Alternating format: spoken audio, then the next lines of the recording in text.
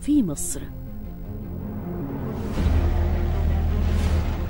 الأجريسبون بيقلل من استخدام الأسمدة الأزوتية بنسبة 30% وكمان بيعمل على إحداث توازن طبيعي داخل خلايا النبات وبالتالي بيقلل من استخدام المبيدات الكيميائية وبيقاوم الصقيع وبيحافظ على خصوبة التربة وكمان بيوفر مياه الري إلى جانب الوقاية من المن والتربس والذبابة البيضاء.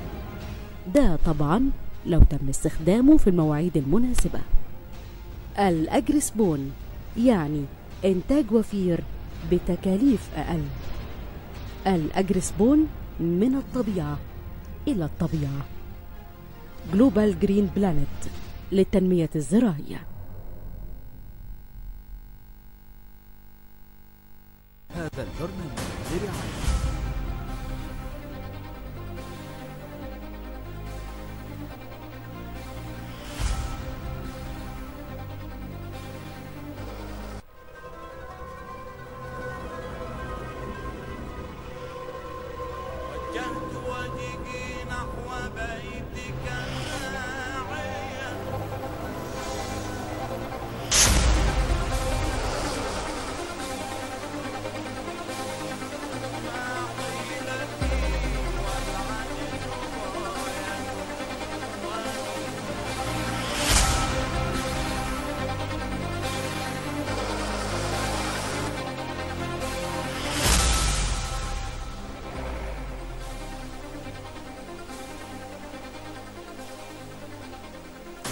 مشاهدينا الأعزاء مشاهدي قناة مصر الزراعيه أهلا بكم معنا وحلقة جديدة من برنامجكم الحصاد.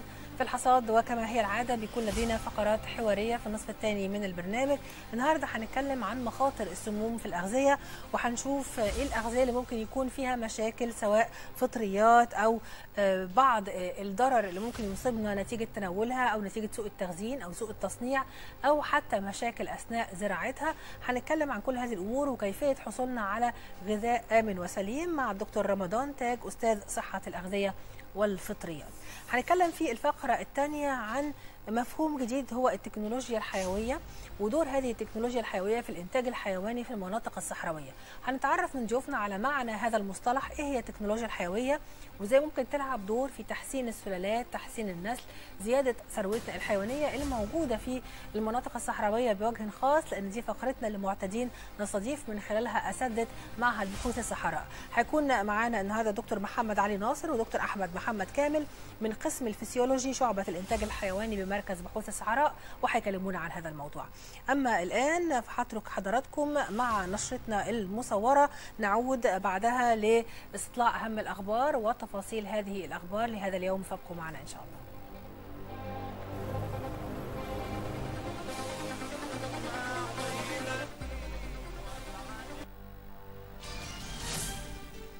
السيسي يلتقي وزير التنمية والتعاون الألمانية. استقبل الرئيس عبد الفتاح السيسي بمقر رئاسة الجمهورية بمصر الجديدة اليوم وزير التنمية والتعاون الدولي الألماني جيرد مولر الذي يزور مصر في إطار اللجنة الاقتصادية الألمانية للتعاون التنموي. وبحث الرئيس مع الوزير الألماني دفع وتعزيز التعاون الاقتصادي والتنموي بين مصر وألمانيا في ضوء العلاقات المميزة بين البلدين. كان مولار قد قال إن الحكومة الألمانية تسعى إلى التعامل مع الحكومة المصرية من خلال المبادرة الألمانية والتي لا تقتصر على مجال الكهرباء والطاقة وإنما تمتد لمجال الإلكترونيات والمجالات الأخرى. انطلاق جلسات الحوار الفلسطيني في القاهرة بين فتح وحماس برعاية مصرية. انطلقت منذ قليل جلسة الحوار الفلسطيني لإنجاز المصالحة بين فتح وحماس برعاية مصرية وبحث ملفات تمكين حكومة الوفاق الوطني الفلسطيني من العمل في قطاع غزة وأبرزها الانتخابات والقضاء والأمن والسلاح ومنظمة التحرير والرؤية السياسية.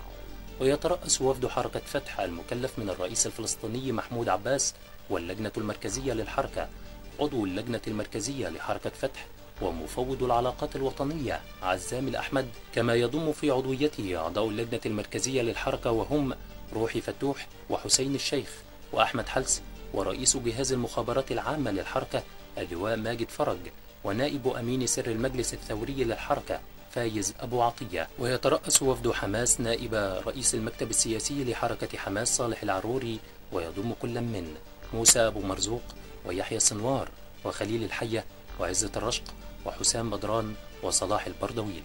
وتوجه عضو المكتب السياسي لحركة حماس اليوم الثلاثاء بالشكر إلى الدولة المصرية لرعايتها بجدية مجريات الأمور في جولات الحوار الفلسطيني مع حركة فتح موضحا أن حماس ستحرص على حل التداعيات والآثار السلبية للانقسام على الشعب الفلسطيني في الضفة الغربية وغزة على حد سواء. التعليم تبدأ حملات كشف الإدمان على سائق المدارس الخاصة الأسبوع المقبل. تبدأ وزارة التربية والتعليم والتعليم الفني شن حملات كشف وعلاج الإدمان على سائق المدارس الخاصة والدولية للعام الدراسي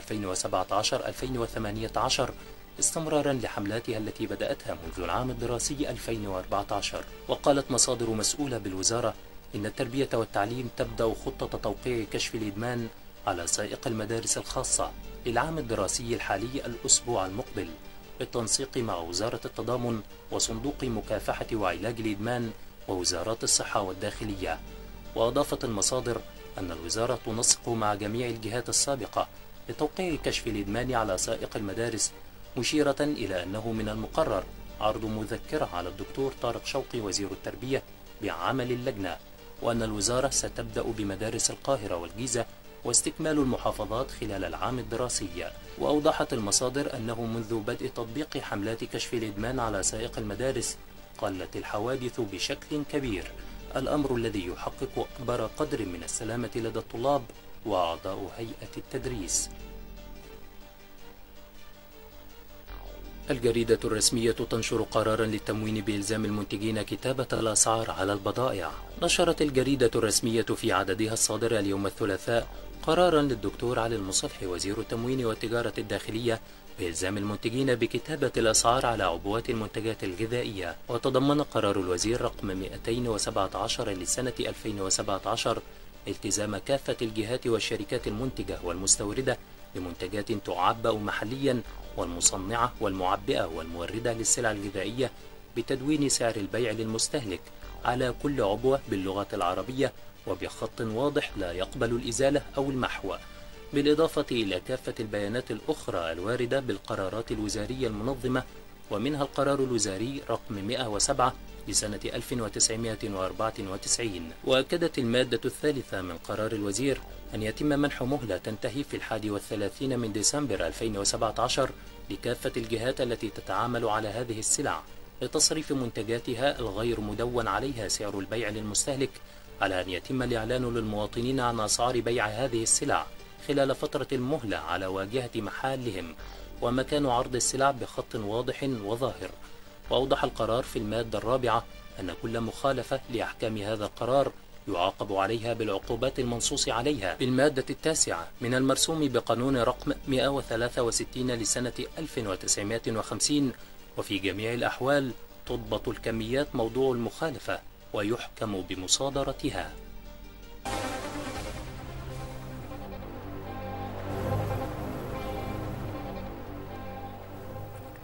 أهلا بحضراتكم من جديد وحزمه أخرى من الأخبار. أعتقد إن العالم كله انظاره موجهة الآن إلى باريس عاصمة فرنسا حيث تجري الانتخابات على رئاسة منظمة اليونسكو واللي بيشارك فيها عدد من ممثلي دول مختلفة. طبعا سفيرة مشيرة خطاب موجودة ضمن المنافسة. خاضت النهارده الجولة الثانية من المنافسة مع مجموعة من المرشحين على هذا المنصب. لكن يعني أعتقد إنه لسه النتيجة النتيجة النهائية صعب إن إحنا نتوقعها دلوقتي. في عدة جولات لابد أن يخوضها المرشحين. لكن البادي حتى الآن ان مصر حصلت على صوت واحد زيادة عن الأمس فحصلت على 12 صوت وإنه قطر أيضا زادت صوت عن الأمس. فيتنام حصلت على ثلاث أصوات وانسحب أذربيجان انسحبت بعد ما كان ليها صوتين فانسحبت خالص من المنافسة. هيكون معانا اتصالات اتصالات هاتفية في محاولة آه، استقصاء هذا الأمر وتوضيحه للمشاهدين علشان يعرفوا إيه هي منظمة اليونسكو وليه في منافسة عليها والحظوظ الأوفر قد تكون لمين. معانا على الهاتف آه، الإعلامية فريدة الشباشي. أهلا بحضرتك أستاذة فريدة. أهلا بيكي وبالسادة المشاهدين. بداية كده هل يمكن أن يكون لدينا توقعات فيما يتعلق بانتخابات اليونسكو؟ بصي هو كان ممكن يبقى لدينا توقعات لو ما كانش فيه آه، اللي بيسموه الشغل من تحت الترابيزة. نعم. يعني قطر إحنا عارفين إنها متعودة على كده. وللأسف للأسف اتضح إن في قناة كبيرة جدا بتنحني وتنسحق أمام المال. نعم. ف آه، بس ده عمره ما يعمل عمره ما يعمل آه، دولة. ولا قصدي دولة بالمعنى يعني بدو آه، تأثير وكده لأنه لو حصل لو حصل أنا طبعا بتوقع إن يبقى فيه آه، لسه الحرب جامدة علينا ومش عايزين ننسى إنه أيام الوزير السابق فاروق حسني لما كان مرشح لليونسكو وخد أعلى نسبة كل زي ما تقولي كل الجيوش المضادة اتحركت واستنفرت. وحاولت انه مصر ما تكونش وطبعا ده معروف إنه ورا ده في جهات منها إحنا عارفينها يعني وما فيش داعي نخدع نفسنا يعني. صحيح. آه، فاللي أنا عايزة أقوله إنه أنا بالنسبة لي أنا كبني آدمة آه، يعني عندي حد أدنى من الثقافة إنه لو يعني أرجو ان ما يحصلش لكن لو طلعت قطر هي آه، يعني ممثلة الثقافة في اليونسكو آه، في الدورة دي يبقى على اليونسكو السلام لأن ده يعني غريبة جدا يعني لما تبقى بلد اللي هي يعني بقى لها الحضارة بتاعتها 5000 6000 سنة وبعدين في دويلة تطلع ثلاث شوارع من شبرا ولا حاجة كده أنا ما بق- ما بقللش منها أنا بقول بس ال ال ال يعني بحسب الإحصاء السكاني وبحسب المساحة آه، وبحسب حاجات كتيرة. نعم. وأيضا بكل تأكيد. قطر يعني هتيجي كاتب واحد في قطر مم. إسهامات قطر في في الناحية الثقافية وفي ناحية التربية والعلوم تكاد تكون. غير موجودة وبالتالي يعني أن يترأس الغاز اللي طلع اللي ربنا حطه في المنطقة دي عشان يبقى نعمة فانقلب علينا إلى نقمة الحقيقة يعني آه لأنه حكامنا مش جديرين بهذه الثروة اللي ربنا اداها للشعب العربي والشعب العربي مش طايق منها حاجة. اللي أنا عايزه أقوله إن هذه الدويله اللي في العالم كله حتى رئيس أمريكا اللي هو يعني أنت إحنا عارفين العلاقات بينها وبينه وبينهم وبين أمريكا حتى رئيس أمريكا قال إنها بتناول الإرهاب وإنها يجب أن تكف أنت عايز تيجي تعلمني الثقافة ثقافة إيه؟ لكن ده لم يمنعه من استقبالهم ويعني إقامة طبعاً. علاقات اقتصادية ومصالح كبيرة جدا معاهم بعد التصريح اللي قاله ده وبالتالي ده- قد ده- يكون مم. قد أنا يكون معاك. يعني إذا هل يعني طبعا حضرتك آه، ذكرتي إنه يعني مرشحنا السابق فاروق حسني في انتخابات سابقة كان هو المتقدم كان معاه 22 صوت في البداية وكانت أيوة. الرئيسة الحالية اللي انتهت ولايتها معها أربع أصوات بالظبط. فقط في البداية. هل من المتوقع أن يحدث تغييرات؟ هل من الممكن ممكن. أن يعترض البعض؟ ولا شايفه إن المنافسة ممكن تميل إلى المنافسة ما بين قطر وفرنسا كما يتوقع البعض؟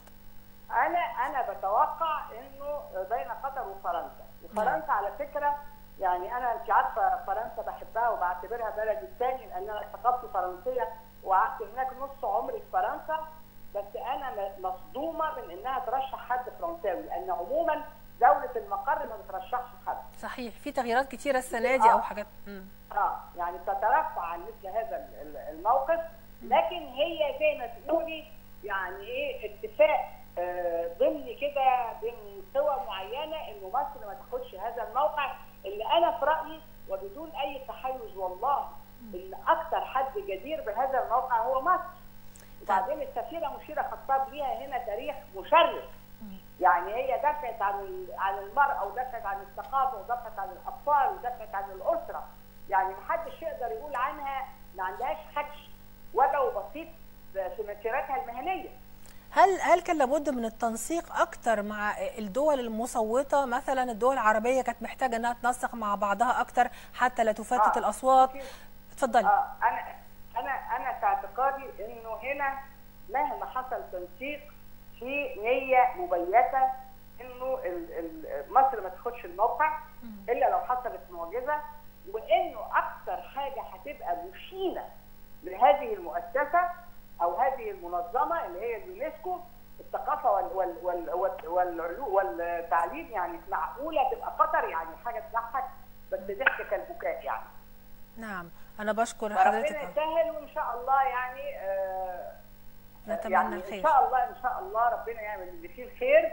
والسفيرة بتاعتنا مشيرة خطاب هي حاسة دلوقتي إن كل مصر معاها وكل الأصوات الحرة معاها.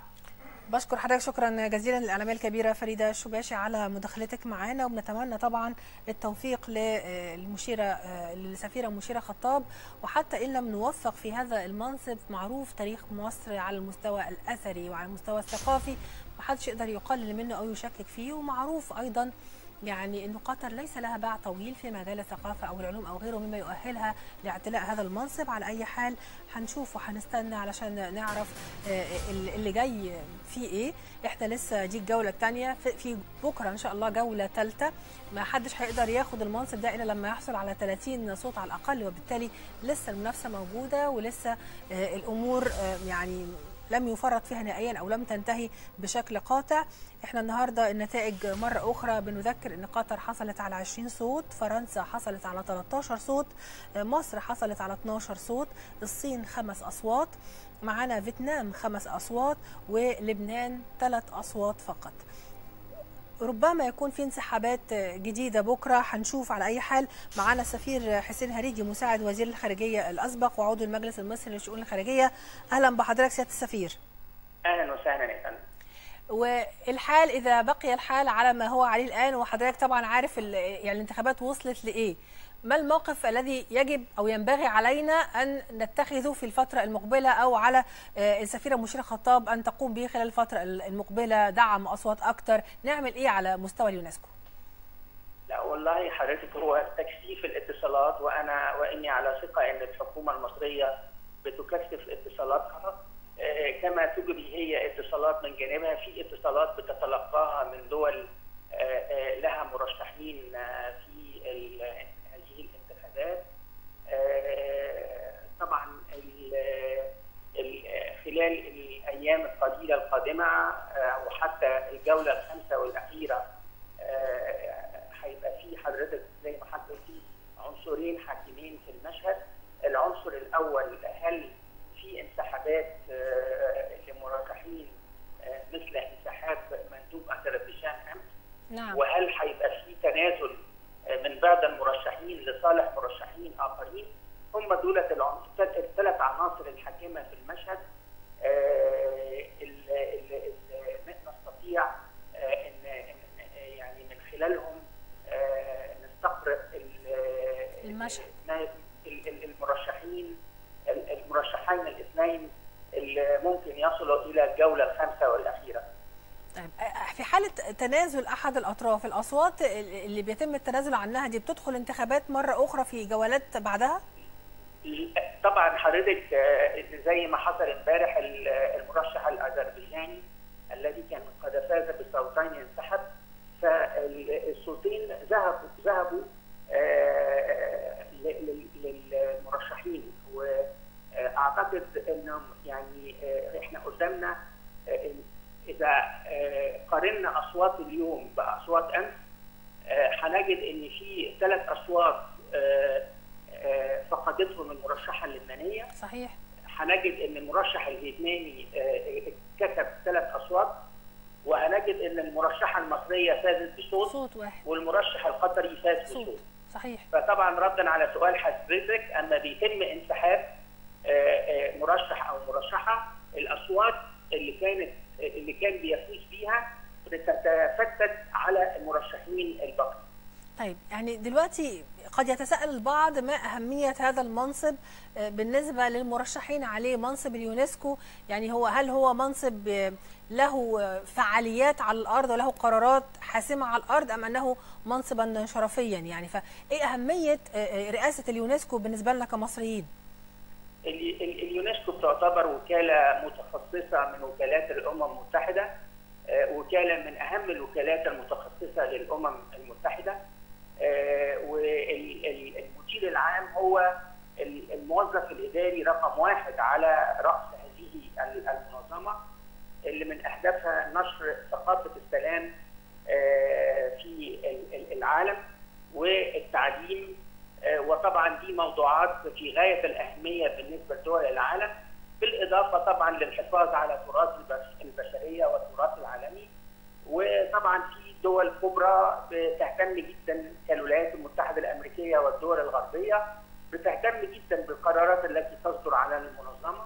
وكما تعلمين حضرتك إن الولايات المتحدة الأمريكية توقفت عن سداد مستحقاتها المالية آه، اللي بتمثل حوالي 22% من إجمالي ميزانية اليونسكو اعتبارا من 2011 احتجاجا على قبول فلسطين كدولة عضو في اليونسكو.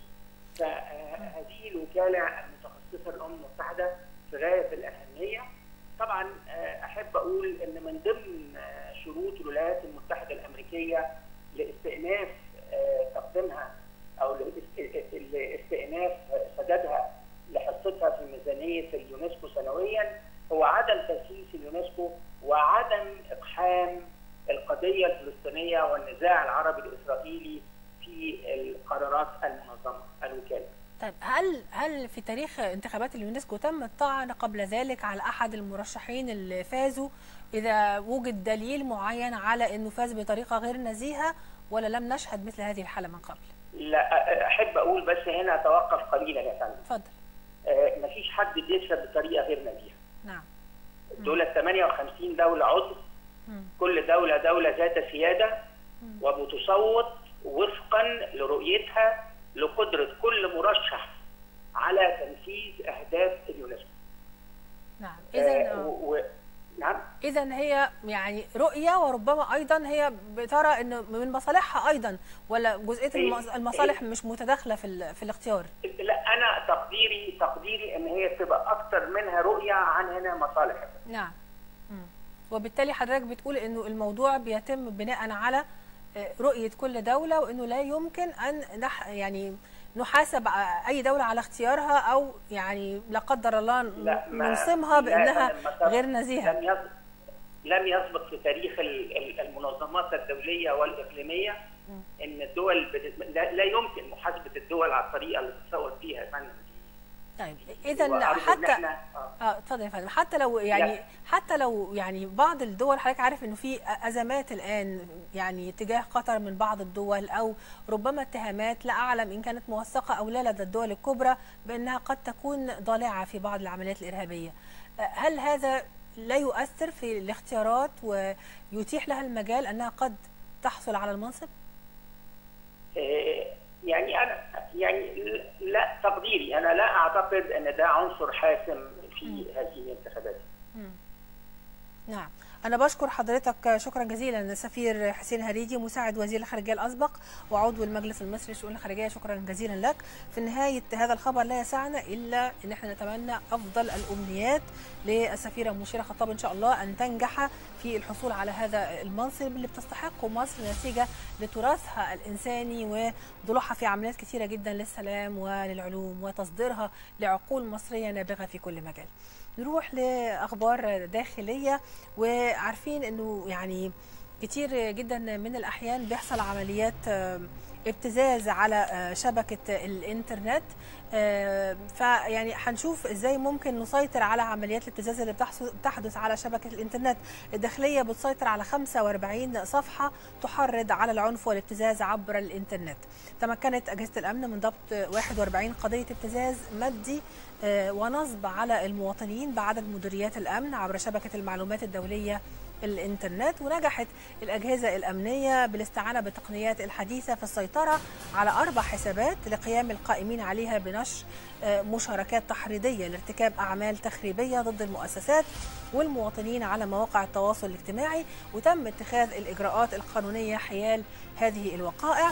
الجهود الأمنية اللي بتبذلها كافة قطاعات وزارة الداخلية لمكافحة الجريمة متواصلة خاصة فيما يتعلق بالجرائم التكنولوجية والصفحات التحريضيه على مواقع التواصل الاجتماعي. بعضها بيكون تحريضي على جرائم عنف وبعضها بيكون لابتزاز مادي ونصب على المواطنين. والداخلية نشطة جدا في هذا المجال. كمان بنتكلم عن اعتداء بقى كان تم على الأقسام الشرطة وعلى الداخلية من حوالي سنتين وصدر بشأنه آه، حكم قضائي أخيرا. الإعدام شنقا لثمانية متهمين بأحداث اقتحام قسم حلوان. قضت محكمة جنايات القاهرة المنعقدة بمعهد أمناء الشرطة بطورة برئاسة المستشار حسن فريد. اليوم الثلاث بالإعدام شنقا لثمانية من المتهمين في قضية كانت معروفة إعلاميا باقتحام قسم شرطة حلوان.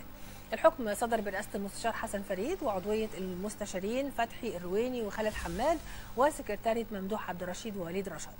اتحاد كشفت إن المتهمين قاموا يوم 14 أغسطس آه، السنة اللي قبل اللي فاتت بالتوجه لقسم شرطة حلوان وقاموا آه، بوضع سواتر حجرية وتحصنوا وراها ورشقوا القسم بالحجارة وبقنابل المولوتوف وإطارات الكاوتش المشتعلة واسطوانات الغاز وأطلقوا آه، وابل من الاعيله الن- النارية على ضباط الشرطة والمواطنين المتواجدين في حرم القسم. طبعا قتلوا المجني عليهم عمدا مع سبق الإصرار وأصابوا 19 من رجال الشرطة والمواطنين واحدثوا بهم عاهات مستديمة وأحرقوا مبنى القسم بالكامل و20 سيارة شرطة وثلاث سيارات خاصة. مش عارفة إيه اللي ممكن يعني يؤدي بناس إلى هذا الكم من الغل تجاه قسم شرطة ويعني ناس بيؤدوا عملهم آه، يعني في حفظ الأمن والأمان والحقيقة إنه هذا الحكم أخيرا صدر وأكيد هيشفي صدور الناس تعدي على يعني المؤسسات الحكومية ده شيء سيء للغاية لأن دي في النهاية أموال مواطنين وأموالنا إحنا كمصريين ما ينفعش كل يوم والتاني يحصل حاجة زي دي فبنعتقد إنه يعني إن شاء الله يكون في أحكام رادعة فيما يتعلق بالناس اللي بتعتدي على أقسام الشرطة أو غيرها من مؤسسات الدولة. كان في حمى الضنك اللي كانت منتشرة في آه، منطقة البحر الأحمر وزير الصحة بيطلع تصريح بخصوص هذا الموضوع إنه هيعمل تحاليل ل 300 آه، سوداني دخلوا منطقة البحر الأحمر لأنه في احتمالية إن يكونوا هم اللي نقلوا حمى الضنك اللي انتشرت هناك لفترة من الفترات. دكتور أحمد عماد الدين وزير الصحة قال إن في 300 رجل سوداني الجنسيه دخلوا لمنطقة البحر الأحمر من فترة وهيتم إجراء تحاليل ليهم للتأكد من إنهم مش مصدر لانتشار حمى الضنك. وزير الصحة قال أن محافظة آه، البحر الأحمر أخبر محافظها بدخول 300 سوداني عبر الحدود المصرية ومن المحتمل أن يكونوا هم ناقلي المرض. وأكد أن مصر ليست من الدول اللي بينتشر بيها المرض وجميع دول شمال إفريقيا. أشار عماد الدين كمان في تصريحات صحفية آه، أنه تفقد مستشفى القصير وهناك قال أن الحمى دي فيروس ضعيف جدا. وعدد المصابين في القصير يعني أقل من نص من 100% من سكان المدينة وقال إن الحالات اللي دخلت المستشفى حوالي 212 حالة وخرج منهم بالفعل 185 حالة. أوضح وزير الصحة إن في حوالي 102 شخص آه، مثلوا فرق طبية وراحوا البحر الأحمر في بداية الأسبوع الثاني أخذوا عينات من كل شيء في مدن البحر الأحمر وتم آه، حصر ومعرفة سبب المرض وهو المياه الراكدة والخزانات القديمة. وأكد على إنه تم القضاء تماما على البعوض اللي وصل في بداية الأمر انتشاره ل 85% لكن الحمد لله بالمكافحة ما تعداش آه، 3% فده شيء جيد جدا. معانا للتعليق على هذا الخبر ولمزيد من المعلومات الأستاذ محمد سليمان مدير مكتب المصري اليوم بالبحر الأحمر. أهلا بحضرتك أستاذ محمد. أهلا وسهلا بحضرتك آه، من المفترض إنه تم التحليل ومعرفة إن البعوض هو العنصر آه، المتسبب والناقل مع المياه الراكدة آه، استجد موضوع آه، السودانيين اللي عبروا إلى الحدود المصرية. كلمنا حضرتك عن هذه المعلومة. بصي حضرتك النهارده طبعا بداية من اليوم وزير الصحة بدأ زيارة التفقدية الخاصة بمدينة القصير لمتابعة الإجراءات التي تتم مواجهة انتشار حمى الضنك طبعا الوزير آه، تفقد في البداية المستشفى والتقى عدد من المصابين وعدد من اللي بيتلقوا العلاج داخل المستشفى. طبعا طلبوا منه زيادة عدد الأطباء في المستشفى وزيادة كمية الأدوية والمحاليل الموجودة. طبعا الوزير استجاب على الفور وأكد إنه في هناك آه، أطباء من الجامعات الحكومية سيكونون متواجدون من الغد في مستشفى القصير. آه، طبعا ال- الوزير آه، حدد آه، أسباب انتقال الحمى آه، واللي كانت في المياه ال- العذبة أو ال- المستنقعات الموجودة بتاعت الصرف الصحي. كمان تطرق لموضوع السودانيين وده غير كمان مؤكد أو غير جازم به إنه هم اللي وراء الموضوع الحمى. الحمى طبعا بدأت آه، الانتشار بداية من شهر سبتمبر. الوزارة تعاملت مع الوضع بداية من منتصف سبتمبر بدأت التحاليل وبدأت إجراءات الفحص لل- للمصابين. آه، طبعا الوزير تكلم قال في أجهزة في الدولة لازم تتعاون في هذه المشكلة. وتتدخل خاصه وزارة الإسكان آه، المتمثلة في شركة مياه الشرب والصرف الصحي إنه يتم آه، المياه تبقى نقية وتبقى تتحلل كل شوية وياخذوا منها عينات، كمان الوزير طرح إنه القضاء على الحمى على ثلاث مراحل، مرحلة قصيرة الأجل وهي علاج المصابين. وانتهاء أي إصابات جديدة، كمان المرحلة الثانية هي إنه يت- يتم آه، تشغيل أو آه، استكمال مشروع الصرف الصحي في مدينة القصير وضخ المية العذبة آه، خلال أربعة آه، لمدة 24 ساعة عشان ما حدش يخزن ميه في الخزانات ويرجع تكاثر البعوض مرة أخرى. كمان الوزير أكد إنه ما فيش أي حالات وفاة من الحمى والعدد بدأ يتناقص والقضاء على اليرقات بدأ آه، آه، والبعوض بدأ ينحصر. وكمان الكلام ده في الغردقة وفي القصير وتفاجئ ومرسى علم. يعني هو النهارده يمكن الوزير آه، كلف ال- الأجهزة المتواجدة من الطب الوقائي والأمراض المتوطنة بالاستمرار في المتابعة والإجراءات الاحترازية بالتعاون مع محافظة البحر الأحمر، الوزير كمان أكد على إنه إنه الفريق الوقائي الموجود في القصير مش هيمشي من هناك. غير لما ينتهي من الحمى كاملة. هايل طب الوضع الحالي بقى هل في ناس لسه في المستشفيات ولا خلاص تم علاج الجميع في, طبعا جزء عدد قليل في المستشفيات لكن العدد الأكبر متواجد في المنازل داخل المنازل اللي بتلقى العلاج على حسابه الخاص وفي عدد موجود في حميات الغردقة وعدد في قنا وعدد في مستشفى آه، أسوان. العدد الأكبر موجود في البيوت اللي اللي بيتلقى العلاج داخل البيوت لأنه العلاج يعني يعتبر الأدوية والمحاليل آه، الحرارة. اللي إحنا عايزين يمكن نناشد ال- المسؤولين فيه.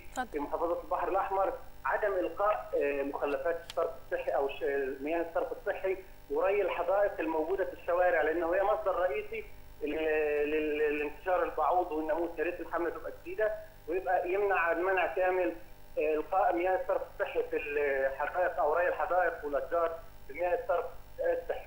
هو من المفترض دلوقتي بيتم علاج مياه الصرف الصحي أو تطهيرها. يعني بإلقاء نوع من أنواع بالفعل ال- هم بيقضوا على مصادر الصرف الصحي أو مصادر المياه العذبة اللي متواجدة والخزانات المفتوحة والحاجات والخزانات الهالكة وحاملة داخل المدارس وكل حاجة بتتم. لكن ما زالت في سيارات نقل صرف صحي تلقي بحمولتها في الحدائق ال- ال- في الجزيرة الوسطى للشوارع. في مدينة الغردقه. لا ده لابد فعلا من الإبلاغ عنه. حضرتك ما فيش المحافظ يعني تعامله مع الموضوع ده إيه؟ هل في استجابة يعني ولا لسه؟ بصي حضرتك الموضوع من البداية في الحمى كان مطلقين عليه إحنا كصحفيين أو إعلاميين الفيروس الغامض. الفيروس الغامض وكان في تعتيم من وزارة الصحة على الموضوع صحيح. تعتيم من الجهات الموجودة على الموضوع لحد ما تفاقم الوضع وانتشر بالصورة اللي حضرتك متابعاها وملاحظاها لغاية ما آه، جاء تكليف رئاسي لوزير الصحة ينتقل القصير ويشوف الأمر إيه. الكلام ده الوصول كان من زمان يعني كان من أسبوعين بس هو. بعت الطب الوقائي قبليه يا فندم الأسبوع الماضي كان يعني يعني رئيس الطب الوقائي موجود. الحمى الحمى موجودة عندنا من بداية شهر تسعة. نعم. يعني هم تأخروا في الم... يعني إحنا كتبنا في المصري اليوم كتبنا لكذا برمان ثاني إنه ال... ال... يعني نعرف حقيقة الفيروس الغامض الناس بتتعب ليه الناس سخونة ليه الناس بتتعرض للاعياء وتكسير العظام ول... ليه؟ يعني هم كان فيه لغاية ما شافوا الصورة الكبيرة آه، طبعا اهتمام من كل أجهزة الدولة على المستوى حتى آه، مجلس الوزراء والرئاسة. نتمنى إن الاهتمام ده. فعلا يعني يؤتي ثماره ان شاء الله وصوتك يكون واصل. أستاذ محمد سليمان مدير مكتب المصري اليوم بالبحر الأحمر. شكرا جزيلا لحضرتك. نرجع بقى للملف الزراعي وعارفين إنه من أهم الأمراض اللي بتصيب النخل سوسة النخيل. إحنا عندنا أكثر من 20 مليون نخلة في مصر. بعض النخيل بيصاب بالسوسة وبالتالي يعني بيفقد قيمته تماما. علشان كده الآفات الزراعية بتستعين بتقنيات حديثة لمكافحة آفات سوسة النخيل الحمراء. وده بيواجهوه. كما قال الدكتور ممدوح السباعي رئيس الإدارة المركزية لمكافحة الآفات الزراعية بطرق حديثة من خلال تطبيق الدراسات الحديثة اللي قام بها المعمل المركزي لبحوث النخيل ومعهد أمراض ووقاية النبات بمركز البحوث الزراعية. باستخدام جهاز جديد لحقن ال- النخيل ده بيحقنوا آه، النخلة آه، جواها للقضاء على الآفة آه، تحليل عينات خاصة بالمبيدات واستعانة بحفارات لتقليع ودفن النخيل. إذا فعلا كان النخيل خلاص فسد لابد من أنهم يقتلعوه تماما ويقوموا آه، بدفنه. وده في المحافظات اللي فيها إصابات واللي بيكثر فيها زراعة النخيل زي محافظة آه، الإسماعيلية وزي منطقة سيوة وزي الجيزة وده للحفاظ على الثروة القومية من النخيل في مصر. آه، لأن وزارة الزراعة قالت إن إجمالي عدد النخيل في مصر بيبلغ أكثر من 20 مليون يعني 20 مليون وحوالي 30725 نخلة. وتم اكتشاف حوالي 2023 نخلة مصابة آه، بالفعل وبالتالي تم علاج 1701 نخلة منهم لكن في 54 نخلة يعني غير قابلين للعلاج فتم تقليع آه، هذه آه، ال- ال- الثروة النخلية المتمثلة في 54 نخلة ولسه في جهود مستمرة لأعمال المكافحة وإجراء تجارب عملية لعلاج المصابين آه، أو المصاب من النخيل لأنه طبعا دي ثروة كبيرة جدا. نتمنى إن شاء الله يعني التوفيق لوزارة الزراعة في علاج هذه الآفة الخطيرة والقضاء عليها بإذن الله. ويا ريت برضو مربي النخيل أو زارعي النخيل يستجيبوا معاهم ويبلغوا عن أي حالات إصابة ويقوموا على طول بعلاج فوري ليها والإبلاغ هيحمي باقي الثروة من النخيل. في طبعا تعديات مستمرة على نهر النيل لكن من الناحية الثانية في جهود ومحاولة دايما لمواجهة هذه التعديات، رئيس قطاع حماية النيل آه، بيقول إنه هيحصل قضاء على ظاهرة التعدي على النهر مع نهاية العام طبعا تصريح متفائل ونب يعني نتمنى إنه يحدث بالفعل.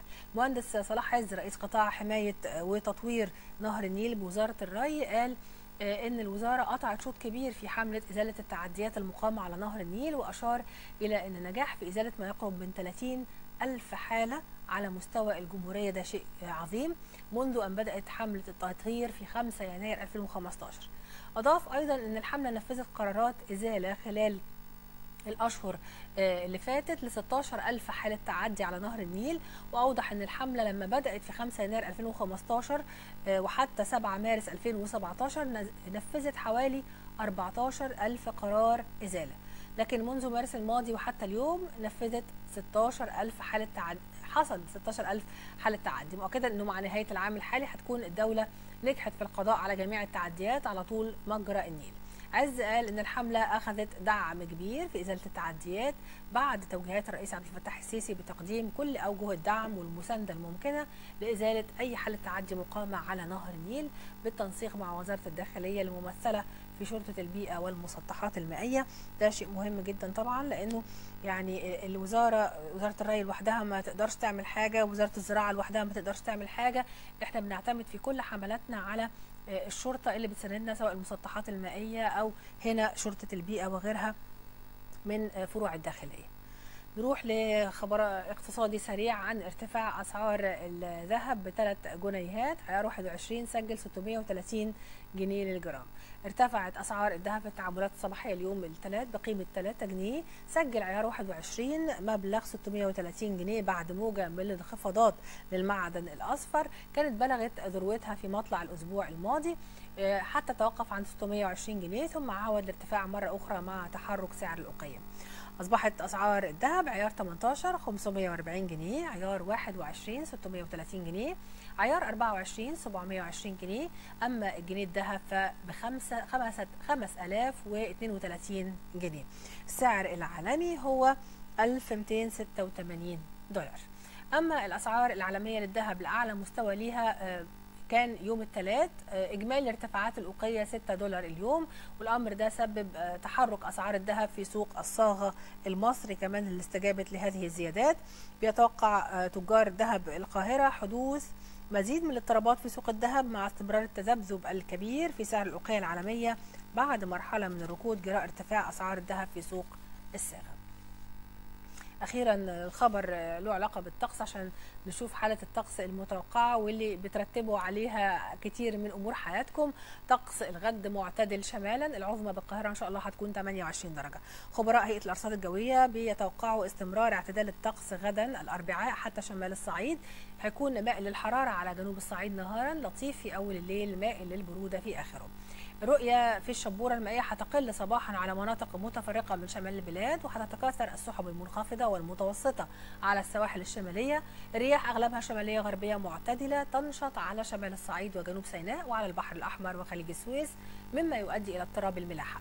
درجات الحرارة المتوقعة العظمى بالقاهرة 27 والصغرى 19 أما الإسكندرية العظمى 26 والصغرى 21 مطروح العظمى 21 والصغرى 26 دي درجات الحرارة المتوقعة غدا إن شاء الله. بنتمنى بإذن الله يوم جميل وسعيد غدا لكل المصريين.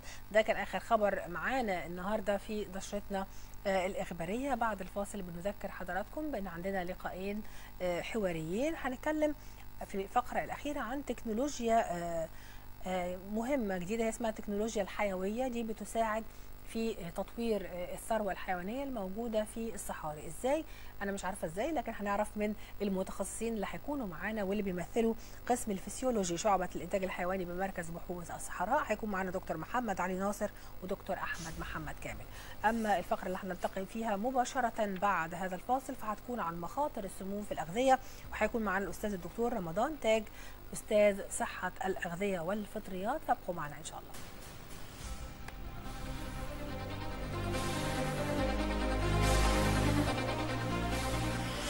برنامج برعاية